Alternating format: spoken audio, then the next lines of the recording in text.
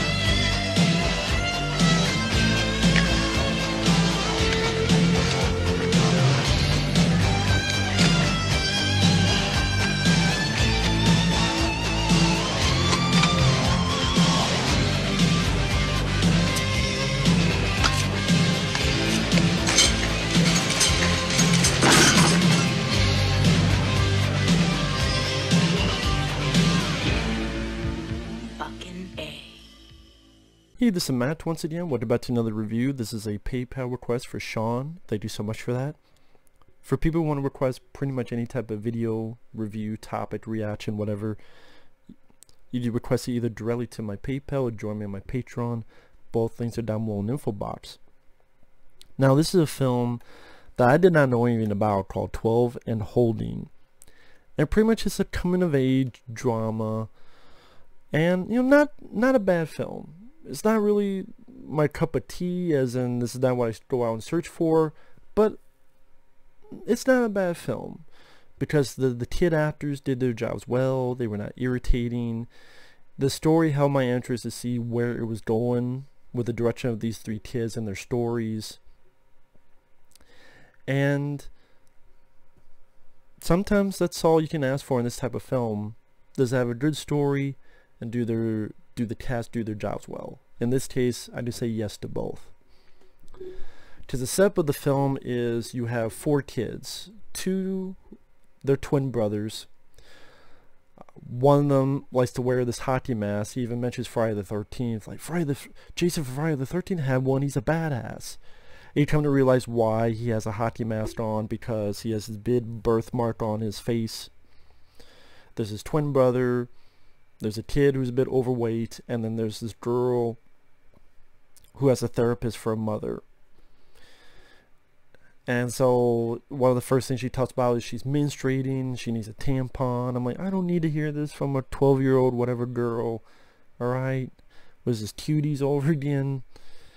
Which again brings with the thing of cuties, what's hypocritical and what's not of it. I've always maintained everyone's hypocritical in some way. So would this film be canceled? I don't know. I still don't want to see cuties. You're hypocritical. Fine. We're all hypocrites. At least the movie's not all about that either. Like something like cuties. But get to this.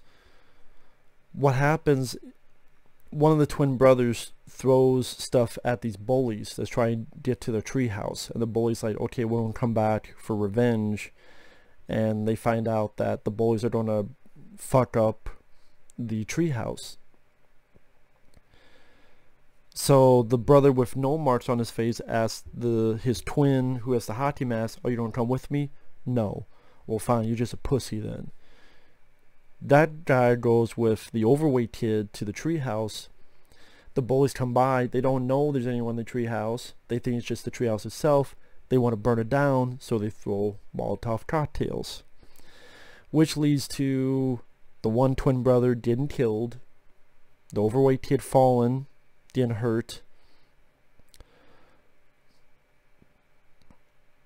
I like that the bullies at least act realistic yes, of course, there would be people be like, yeah, fine, fuck them, burn. yes, granted that would happen as well. But here, one runs off and the other, he's trying to help the overweight kid, trying to help him get up. But then he leaves anyway. And so what the story becomes is how do these three kids deal with the death of this kid who is their friend? And for one, his twin brother. And the movie goes back and forth with each of their stories. Uh, the the overweight kid, when he got hurt, he got a loss of smell, so that hurts. Uh, that affects his taste. So when he's eating stuff, he's like he can't taste it much, but he doesn't like the feel of it. And someone goes, "Why don't you eat an apple? Maybe you like the feel of that." And he starts liking it. He starts eating apples. His family going, you know, you can't just eat apples all the time. And the kid's like, why not? So his story is wanting to get healthier and lose weight. And I don't know why his family is pushing away from that. Usually parents would beg for that, but his parents are pushing away from that. Is that a typical thing that happens? Because maybe that's new to me. But yeah, that direction. Uh, the the girl trying to talk with her therapist mother, and they don't get along the best. She wants to see her father. The mom's like, no, he abandoned us. And she falls for one of her mom's patients, played by Jeremy Renner. Which Jeremy Renner, he did a good job in this. He plays a firefighter. He has some type of trauma that we find out later on what it is. And it was cool to see Jeremy Renner. I like him as an actor. And uh, he, like I said, he did a good job in this. And she starts to fall for him, and she tries to seduce him. No, it doesn't work out. It's not that kind of movie, thankfully. But it's her being confused and trying to find someone to latch onto in some way. And then the twin brother, the one who's got the birthmark on him, it's him trying to deal with the death of his brother, thinking maybe his parents they liked him more than the one who survived. And I, I would say with the writing, I liked it because it didn't go into too many predictable, like cliche routes. What I mean by that is I could easily see this type of story going, the parents going, well, you should have died, not him. And like the parents really being adamant that they prefer the dead one to him they don't do that. The reason they do that in a lot of other movies is to create dramatic effect, but then you just lose. Not that it's unrealistic, because sadly there are parents who would feel that way, but it's this. I know you're just doing it for dramatic effect, and you're reaching. it's like, okay, can you, like this one? I thought, no, the father is just trying to do the best that he can. It's like, you know what? I love you, son. I just want to clean. You want to clean? And the kid's like, do I have to? Oh, no, no, you don't. So he knows that his dad's trying to deal with it and failing a little bit, but trying. His mom, bit depressed. And there's a moment later on where he's like, you, you liked him more than me. And she's like, no. Well, you uh, later on you adopt this other kid to replace him. No, we talked about adoption for years. And like I said, they didn't go the 100% predictable route. And this other thing which I thought was interesting is that the kid would go to the juvie hall that the two bullies are at, and for months he would just go there, talk on the phone, and be like, "You kill my brother. You know when you get out here, I'm gonna kill you." Which maybe in in your mind you think is ridiculous because the kid is so much smaller than the bullies, but I thought that the kid did a good job acting, and even the bullies like, "Oh yeah, whatever." But then with the conviction the kid says this, it makes the bully like pause. And I just thought with that and like the story of the overweight kid, the directions it goes in at times seems a bit outrageous. But uh, again, I will say it's not as predictable as I would think it would be. And it made the story a bit more interesting. So I would definitely say it's it's worth a look spoilers starting right now. what I mean by a little bit unpredictable, like the overweight kid, rest of his family goes off on a trip, it's just him and his mom. The overweight kid locks his mom in the basement because he worries about his mom. He wants his mom to eat healthier. She, of course, fights against it. Accidentally, there's a gas leak. And the mom's able to break out. And it, again, it doesn't go into, let's have a dramatic effect. Like, why did you do this? It's more like, oh, I'm worried about my son. Let's get the fuck out of here. And even at the hospital, he apologizes like, you know what, I didn't tell your dad. You know, I don't know if I can do this whole thing. It's easy for you to say. And the kid goes, no, it's not. Okay, I'll try. And ultimately does end up with them eating healthier. Granted, the way it went that is not what I would have thought it would have. But okay, like I said, it made the story a little bit interesting, a little bit unique. Uh, the girl, she tries to seduce him. Jeremy Renner. Jeremy Renner just goes off, calls the mom. And then he goes, in a weird way, she helped me because I could now tell my story to you. I was a firefighter. I saw this girl during one of my uh, rescue attempts. She was badly burned. She begged me to kill her. I did it. And she had the same look that your daughter had that night. Which makes the mom... Actually, the mom is played by Annabella Sciorra, which is the actress I've seen in other films. Then for the bit role she has, she does a good job. Oh, funny enough, I didn't mention. Uh, I thought he would be in the film more, but it's like a cameo. Mark Linn-Baker is a teacher. He's in like one scene, and if you don't know who that is, that's uh,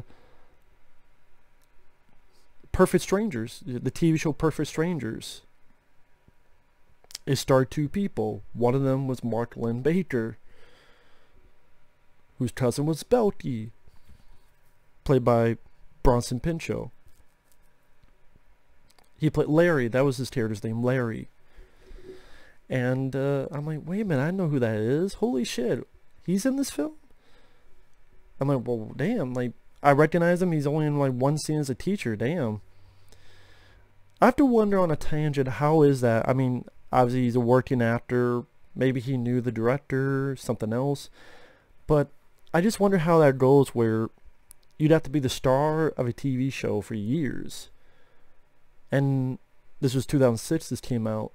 Now I can only get a job as a teacher for a 30 second screen time role in a movie barely anyone has heard of. I mean, maybe for him it's like, hey, I get to work, but it's like, man, can you imagine that? You get to be the star of a TV show for years and years and years very successful TV show, and now that's where your career went. I did on one hand, if he's happy, he's happy. That's cool. I just that happens to a lot of people, and that's sad. Not in a way, oh, he's sad, pathetic. Oh, fuck yeah, but more like, oh, that's too bad. He couldn't get any like bigger roles or something. But you know, that's just how it goes. And then the the you know the the daughter and her mom they form a bond more so and then the the twin brother the kid with the birthmark on his face he starts befriending the bully because one of them committed suicide in juvie and the kid's like okay seems like he's getting along with this other bully hey my family doesn't care about me let me run away with you but then when you realize, oh no, the family does care about him. And then the mom says, oh man, I wish that other one would die. Which is a understandable because the two did kill, it was an accident, granted, but did kill her kid. And then the end of the film's kind of dark, where he pretends he's going to go with this kid. It's raining out. Kid's wearing his hockey mask. Go to a place where it's like a construction site, has a gun and shoots the bully. Buries him in the cement, or buries him in this place where the next day cement goes over and he gets away with it. Gets away with shooting a bully and killing him. as I like a rousing event because the bully the bully felt sorry about it and he wasn't it wasn't like oh yeah fuck you and fuck your brother it wasn't that manner I think that was done on purpose because they didn't want oh they feel like it was in a way it was unjustified in a way. Like you you get that he cares about his brother and you killed my brother but it was an accident and the bully the bully was nice enough to him that when he thought the kid needed to go along with him he's like fine you can come along with me to new mexico. And uh like you can kind of understand both frames of mind that what he did was right or wrong whichever answer you pick, you can make an argument. And no one finds out. I mean, the only nitpick I have, or one of the only nitpicks I have, it would have been nice if there's at least one last scene with the three kids doing something together. Because it's about these three kids, and it seems like there's not a whole lot of the three of them together. In the first half, there's a couple. In the second half, really not so much because they're all doing their own stories. Like I said, at the end, it would have been nice. At least one final scene with the three kids out doing something together. But that's not the case. But, you know, it's a story about... You know, this big event in each of their lives, this turning point. And, uh, yeah again, the story was interesting enough that kept me invested to see where it was going. Again, didn't predict exactly where it was going, which made it a bit more interesting. And the actors did their jobs well. The kids were not annoying or irritating. They conveyed their emotions fairly well without being over the top or chintzy or cringeworthy. Yeah, cool to see people like Jeremy Renner in there and overall, you not a bad film. And yeah, not a film I typically go out to see, but uh, not a bad film at all. Worth a look if you're uh, open and into dramas. So with that said, thanks for watching. We'll see you guys later. Bye-bye.